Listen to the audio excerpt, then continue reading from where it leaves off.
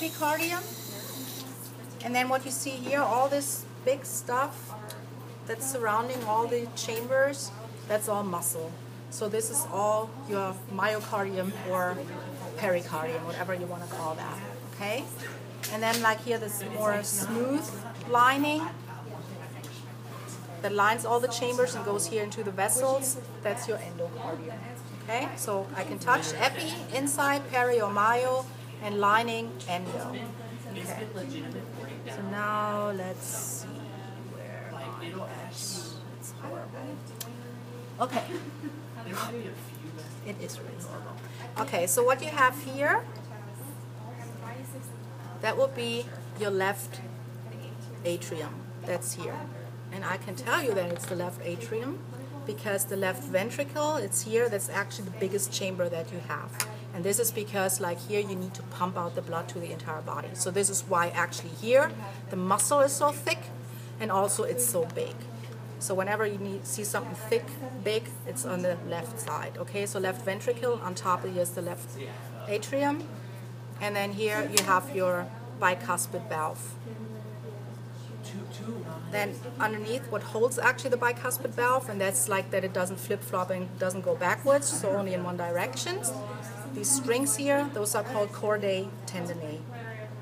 Chordae tendineae are attached here to the papillary muscle. Papillary muscle sits in the left ventricle.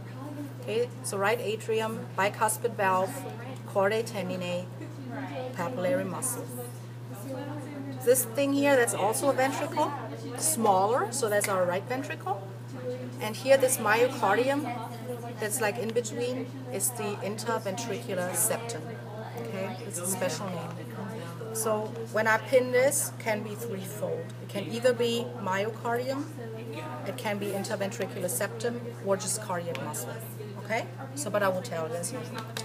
All right. So now we're getting, it's getting. That's a good question. Okay, this one here, see, this is actually your left ventricle, and this here, that's the aorta.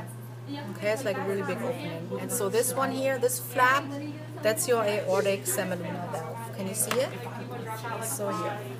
So here you have the left ventricle, that's the aorta, and that's the aortic semilunar valve. That will be the bicuspid, and that's the aortic semilunar. And here are remnants of the tricuspid valve. Okay, it's like always remnants, so sorry about that. All right, let's close this guy.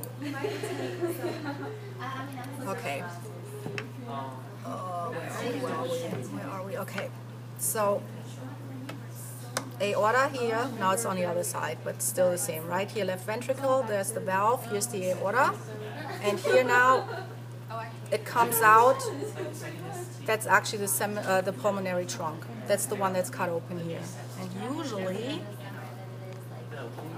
in this case not, but sometimes you can actually get the valve out here. So that's the pulmonary trunk, and that's usually the one that actually is cut open. Okay? So, and here that's the interventricular septum. So this is supposed to be the outside where you have like here, oh no, the interventricular groove where you have the interventricular septum on the inside. Okay, so septum inside, groove on the outside. And there's actually a groove because everybody's touching and rubbing it. so okay, if we flip it over, as I mentioned before, it's kind of like hard to see the cardiac sinus on the inside, but that's it on the outside. Okay, so it also goes into the right atrium. So this is where like the blood supply that surrounded the heart comes back into the heart. That's here your cardiac sinus. All right.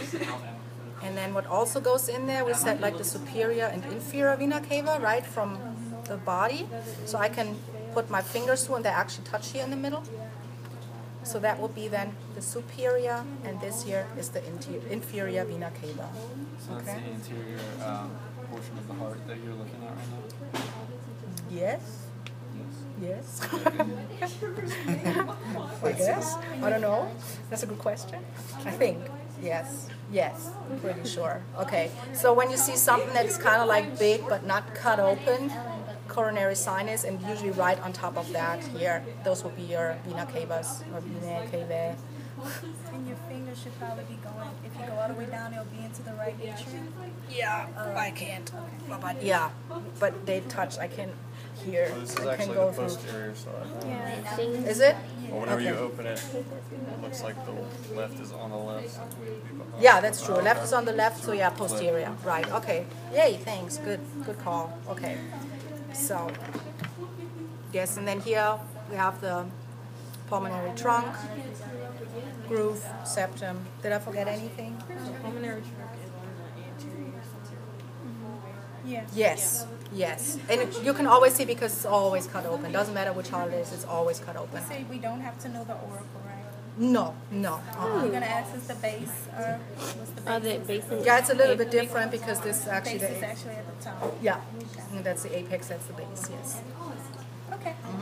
but no, not um, anything else. So if it's gonna be a um, atrium or ventricle, it's gonna be from the inside, and auricle, no, because it's just part of an atrium, so you don't Can you need to show know. the aorta from the outside?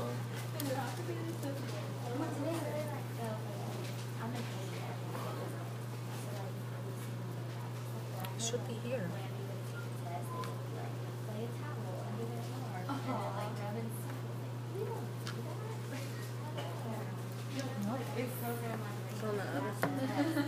It's here.